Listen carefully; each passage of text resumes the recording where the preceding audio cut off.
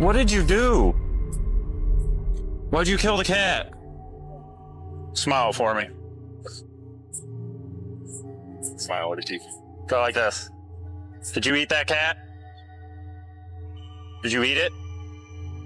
No, why'd you kill it? Did you guys see all this? No, we pulled up and she was just laying there with it, Did you see her eating it? eating it. She was eating it? Yeah. You call the Humane Society, see if they'll come pick this cat up. It's deceased.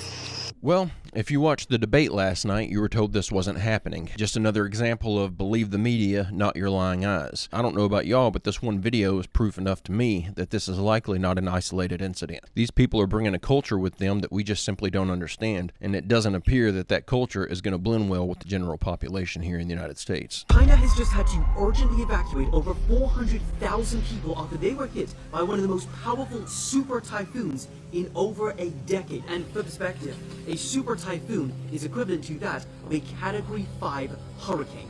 All schools in the area that it made landfall were shut, trains, boats, and flights were suspended, and all tourist attractions have been closed down. The winds near its center reached a staggering 145 miles per hour. And this typhoon has doubled in strength after it killed more than 16 people in the Philippines last week. It's now predicted to move along and hit Vietnam this weekend. That looks absolutely terrifying.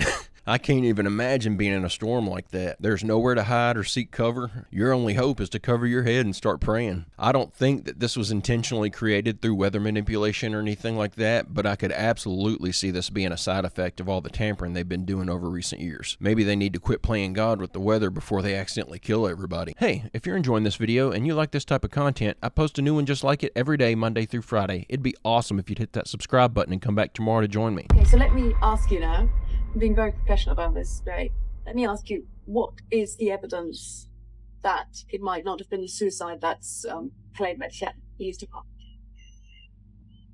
Overwhelmingly, the the uh, primary component of the case that I forwarded is that uh, Cobain did not die of a shotgun injury. Uh, a shotgun blast to the head is the, the forms the most distinctive wound pattern in all of uh, ballistics uh, and forensic pathology. Uh, it's an utterly devastating injury, and yet here, what we have is a still from video showing uh, the garage, the police detective, and the top of Kurt Cobain's head on the tile floor. What you see is not a single drop of blood or any other physiological matter anywhere around the head. And uh, it's particularly disturbing to think that uh, someone could have shot themselves in the mouth with a big bore shotgun and not uh, suffered the typical devastating injury that occurs uh, in every known case to have occurred prior to Kurt Cobain. In other words, the fact that this video shows no blood at the scene of the crime all around his head fairly well establishes that he probably died of circumstances uh, which have never been described. And if that's not convincing enough, uh, the thing you have to understand is the day after this video aired, showing no blood at the scene of the crime, the King County Medical Examiner then changed his, his description of the wound scenario to no exit wound, all of the shots stayed inside his skull, therefore little or no blood was present at the scene of the crime. So where was this video aired? Uh, this uh, video was first aired on June 1st of 1994, uh, about two months after Cobain died. And uh, on June 2nd, uh, in a phone conversation with myself, uh, the chief pathologist of the King County Medical Examiner's Office changed the description from the usual he blew his with a shotgun to, in this particular case, there was no exit wound, all of the shots stayed inside the skull, Therefore, little or no blood was present at the scene of the crime, all of which is completely impossible, by the way. Where was the video aired? On your show? That's correct. Correct. Okay, great. Just a very quick, don't move, very quick close up. Of the of the. Okay. This is a case that I've studied extensively, and this is far from the most compelling evidence. There was a chair lodged against the outside of the only exit door when they found him. There was a box of cartridges on the table next to him with only one missing. The cartridge was later found in a desk drawer and matched to the box they found initially, and the cartridge in the shotgun had no fingerprints on it, as well as, if I'm remembering correctly, the gun itself had no fingerprints on it either. There's a really good book you can read that does a great job of breaking this all down. It's called Heavier Than Heaven, and it goes through Kurt's entire life with interviews from family and friends, and then poses a alternate theory at the end as to how he was likely extinguished. I highly suggest you read it if you're a fan. It's one of the most interesting biographies I've ever read. I'm going to show you guys a video of something that's honestly really difficult to watch. In this tent lives 77 year old Judy Howe with her 80 year old partner George, a situation she never imagined to be in. She says they had an apartment in Halifax before the building was sold and to be torn down. After that, they went to Ontario to be with George's dying mother, but they couldn't afford to stay there and chose to return to Halifax. It's not home. You know, it's not a place you can cook a meal for yourself. You can take a shower. We go up to the Y on so Park Street here. I always get lost I'm trying to find my way out. And uh, we had, that's where we shower at. And you can go there every day if you want, you know. And thank God they have that service. Uh, but it's not where I want to be. I go to I go to bed crying at night. At night I go to bed crying to and I pray to God asking him to get me out of here. That's someone that was born, raised in Canada, worked her whole life, is in her final stages of life, is retired, and is sleeping in a tent on the street, and she's homeless. We failed her and we abandon her. But when we get illegal immigrants, asylum seekers, or even immigrants in general, we give them free food, we give them shelter, and we give them money. This is getting ridiculous. There's no reason on earth that woman should be on the street. It's an embarrassment, and this is exactly the thing that drives me nuts about the Liberal government. They don't care about their own. Otherwise, stories like this just simply wouldn't exist among Canadians. She has to take her showers at the Y. Shout out to the Y for doing that. That's amazing, but th- this is just, it, it, it's, I have no words. With all the money the federal government takes in, regardless of what first world country you're speaking of, stuff like this just simply shouldn't be possible. With the liberal programs for gender studies and all the other nonsensical crap that they spend money on, there's no reason any citizen of any country should be without basic shelter in a time of need. They have the funds and the means necessary to fix this. They just have no intent to do so. We literally pay them to protect us, and this is what we get in return. It's pathetic. NASA has discovered an enormous hidden ocean underneath the surface of Mars so big that it could contain life, if Mars ever had life to begin with. So the story behind this is that scientists are examining data from NASA's InSight lander, and they've revealed the likely presence of an underground reservoir containing enough liquid to cover the entire planet with a mile of water. That is an absolutely outrageously massive reservoir probably much bigger than reservoirs that we have here on Earth. Of course, we have the standard uh, picture of Mars, and these are geophysicists saying that there's a gigantic hidden ocean beneath Mars's surface, big enough where it could harbor life. So the massive underground reservoir, reservoir was discovered using seismic data from the InSight lander, and they said that it's trapped inside a layer of fractured rock about 7 to 13 miles, which is up to 20 kilometers, beneath the red planet's crust. That's so deep that it's sort of beyond our current drilling capabilities, but I think it would be really awesome if we discover aliens and they're underwater aliens. That would be really fun. It might even be Greys underwater. Maybe that's where they're hiding. Maybe that's why they look so different, why they don't necessarily have to blink. I'm being silly. It's unlikely to be that. We'd more likely find microscopic or very simple life underneath the water. But it's important to note that even on Earth, we cannot drill 13 miles into the rock. So doing so on Mars is just beyond human beings' technological capacity at the moment and it will be a very long time before we see if any of this comes to fruition. I don't buy it. they can't even tell us what's at the bottom of our own oceans, but they can use some scientific data from a lander to determine not only that there's water under the surface of Mars, but they know exactly how much and exactly how far down it is. I call bullshit. Gen Z doesn't know how to write a check. They don't know how to address an envelope. They don't know how to read cursive. They don't know how to read a paper map. They can't get anywhere unless there's a GPS map on their phone. All I'm saying is if Gen Z takes over the world, it's going to be pretty easy to get it back.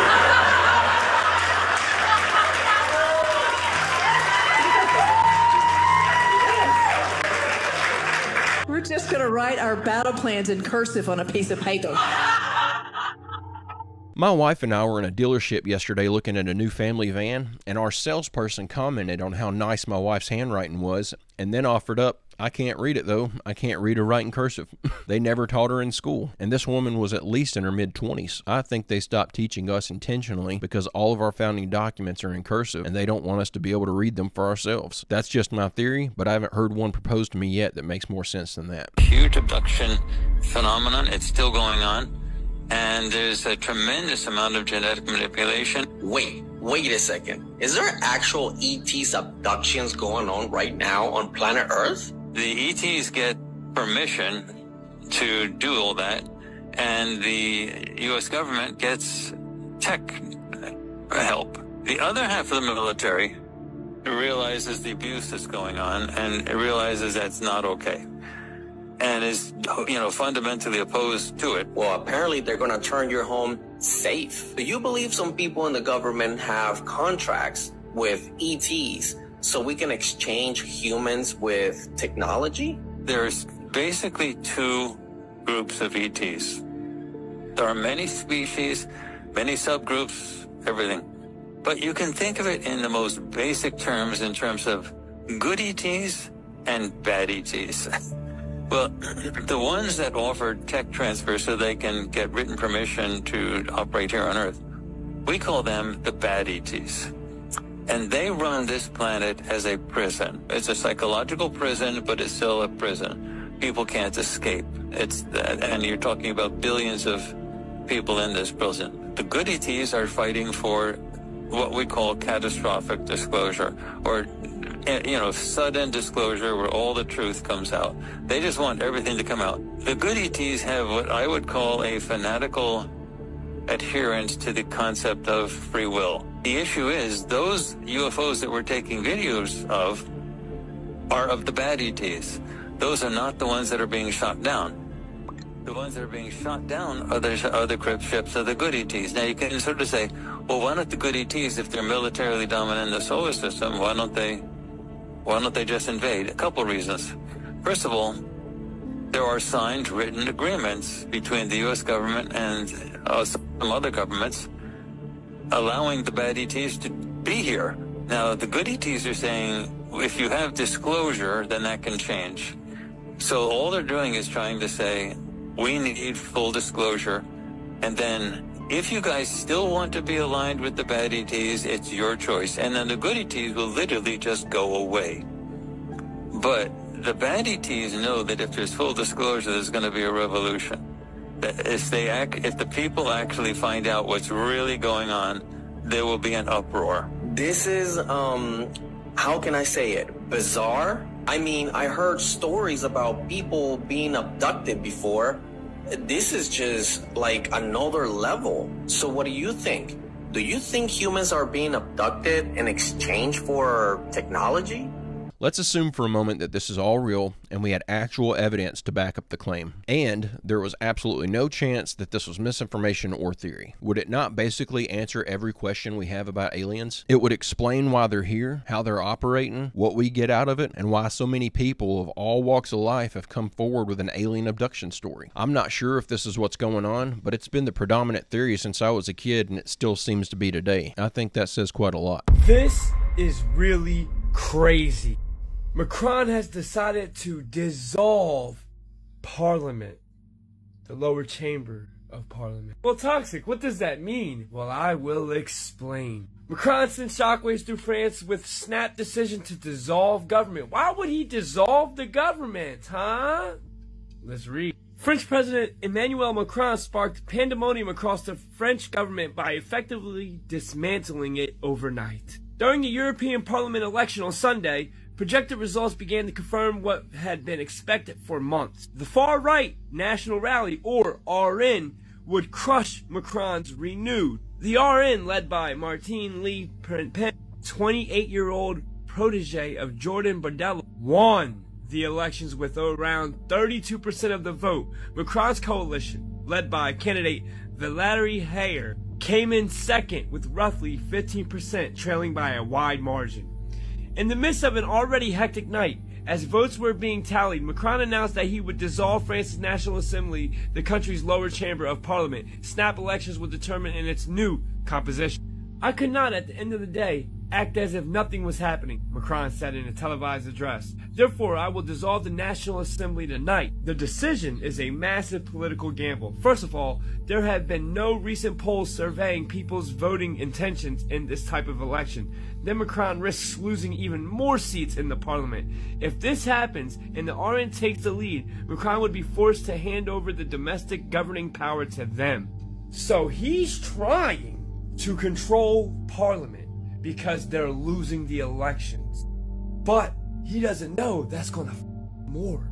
But the bigger story at hand here is he's dismantling the government only through the sole reason or intentions behind losing the election. Why is that allowed? Isn't that like treasonous? Like, what the? The question I ask you right now, straight up, is what do you think's going to happen when Biden has to hand over his power to Trump? You're hearing words of reprogramming Americans as if we are a communist country under dictatorship. What do you mean reprogramming? And then when they say that out their own lips, it makes you think about the programming they've already done with all these Western ideologies with gender and pronouns and P3DOs. Are you guys paying attention? Can you see? This is straight foreshadowing.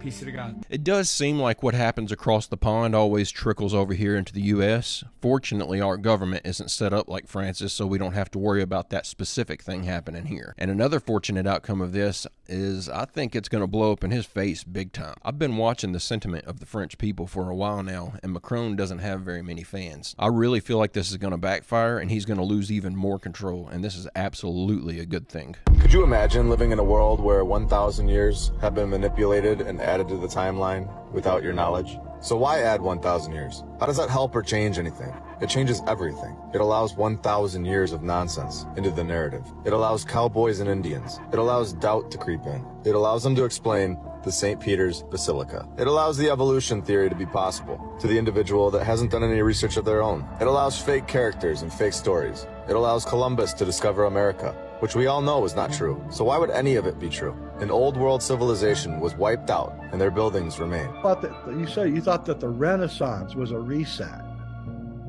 Absolutely was.